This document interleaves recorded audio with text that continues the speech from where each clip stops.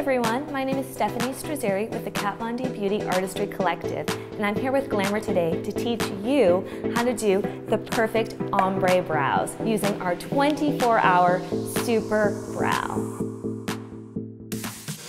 I just start by, at the bottom and I start lightly doing tick marks and feathering it up and into the brow hairs.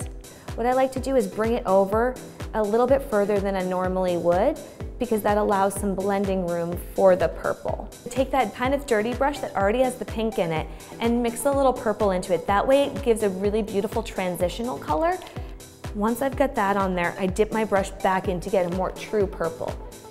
Now, once you've got that done, I go in with another clean spoolie and I actually roll the product right into the spoolie. This acts as a second way to get that ombre look.